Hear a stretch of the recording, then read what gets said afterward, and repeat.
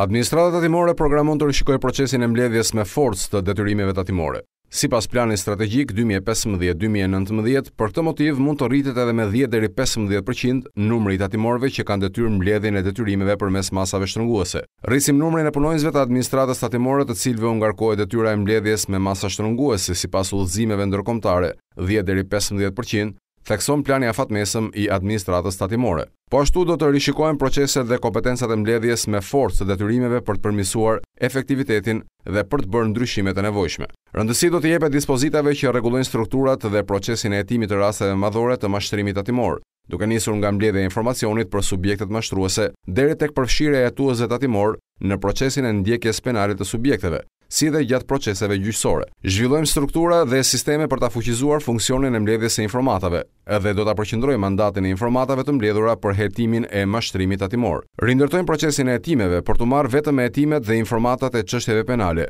dhe për t'i çliruar burimet e Task Forcës për prioritetet e tjera të administratës, thekson strategjia. Do të shqyrtohen edhe sistemet dhe proceset për të mbrojtur sigurinë e informacioneve të mbledhura dhe të transmetuara, si dhe do të shqyrtojmë sigurinë lidhur me mjediset e hetimit.